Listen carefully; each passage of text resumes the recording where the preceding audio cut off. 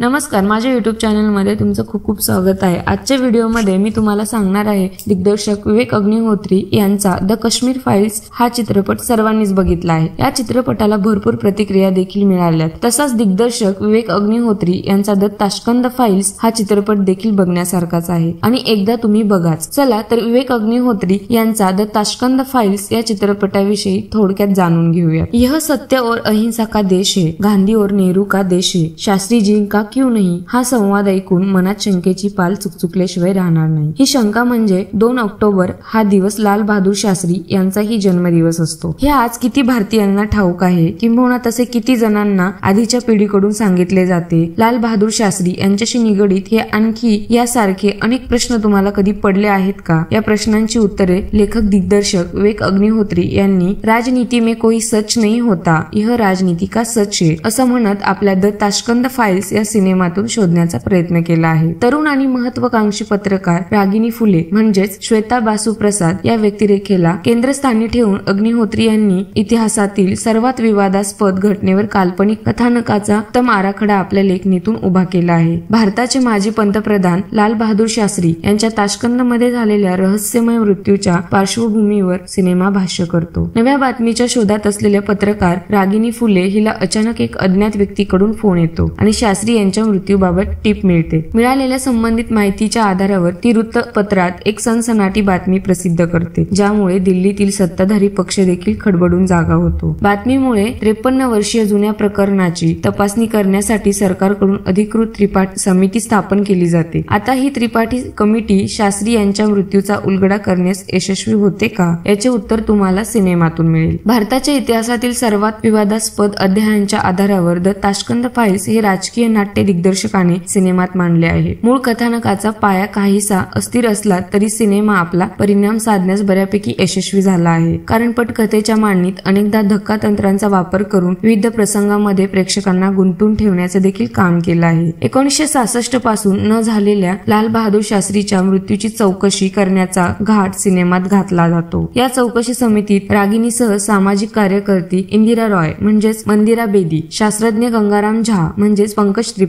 इतिहासकार लेखिका आयशा अली शहा म्हणजेच पल्लवी जोशी आदी आठ जणांचा समावेश असतो. समितीचे अध्यक्ष विरोधी पक्षाचे नेते श्याम सुंदर त्रिपाठी म्हणजेच मिथुन चक्रवर्ती असतात. सत्याचा शोध घेताना समितीतील सदस्यांमध्ये वाद मतभेद इतक्या टोकाला जातात की ते एकमेकांना दहशतवादी संबोधतात. राजकीय दहशतवाद सामाजिक दहशतवाद न्यायिक दहशतवाद बौद्धिक दहशतवाद टीआरपी दहशतवाद रेजिस्ट दहशतवाद आदी लेबल समितीतील स्वार्थी मंडळींवर लावली जातात. या आणि यासारख्या आणखी काही प्रसंगाच्या माध्यमातून दिग्दर्शकाने समाजाची एक दाहक बाजू देखील पडद्यावर मांडली आहे. राजकीय कथा तथ्य अफवा शोधप्रबंध पुस्तक आदींचा आधार घेत संवादात केलेले लिखाण ही सिनेमाची आणखी एक जामेची बाजू आहे. आंतरराष्ट्रीय पातळीवर राजकारण हे सामान्य व्यक्तीच्या अत्यंत नजरेआड आहे. पटकथेत काही प्रमाणात विसंगती असली तरी हा संपूर्ण सिनेमा माणसाला आपल्या लोकशाही विषयी खोल विचार करायला उद्युक्त करतो. या निमित्तानं काही प्रश्न आणखी उद्भवतात. ते म्हणजे भारत पाकिस्तान बरोबर बरोबरचं युद्ध जिंकल्यानंतरच शास्त्रींचा मृत्यू का झाला? पंडित जवाहरलाल नेहरू यांच्यानंतर किंग मेकर के कामराज प्रधानमंत्री होऊ शकले असते. पण लाल बहादूर शास्त्री त्या पदावर आले. हे असे का घडले असेल? यासारख्या अनेक प्रश्नांच्या विवंचनेत सिनेमा तुम्हाला टाकतो. नसरुद्दीन शाह पल्लवी जोशी पंकज त्रिपाठी मंदिरा बेदी आणि इतर सर्व कलाकारांनी आपल्या भूमिकेला उत्तम न्याय देण्याचा प्रयत्न केला आहे. पल्लवी जोशी यांनी साकारलेली इतिहासकार लेखिकेची भूमिका आणि त्या व्यक्तिरेखेची तळमळ पडद्यावर जाणवते. विशेष कौतुक करायला हवं ते मिथुन चक्रवर्ती आणि श्वेता बासू प्रसाद यांच्या अभिनयाचं. भूमिकेतील मर्म त्यांच्या कामातून प्रतिबिंबित होते. उदयसिंह मोहिते यांचे छायांकन देखील सरस झाले असून ठेहराव सिनेमाच्या प्रत्येक फ्रेममध्ये दिसतो. एकंदर सिनेमा नक्कीच बघण्याजोगा झाला असून राजकीय घडामोडी मागील नाट्य उघड करणारा आहे. परंतु सिनेमाच्या शेवटच्या स्लाइडने हे नमूद केलं आहे की सिनेमात मांडलेली तथ्य ही सिद्ध झालेली नाही. त्यामुळे प्रश्न अजूनही अनुत्तरितच आहे पण सिनेमात दिग्दर्शक हा अनुत्तरितच प्रश्न इतर अनेक बाबींवर प्रश्नचिन्ह उभारण्यास यशस्वी झाला आहे. तुम्ही सुद्धा हा नक्की चित्रपट बघा. तुम्हाला जर हा व्हिडिओ आवडला असेल तर तुम्ही सुद्धा माझ्या चॅनलला लाईक आणि सबस्क्राईब करा. धन्यवाद.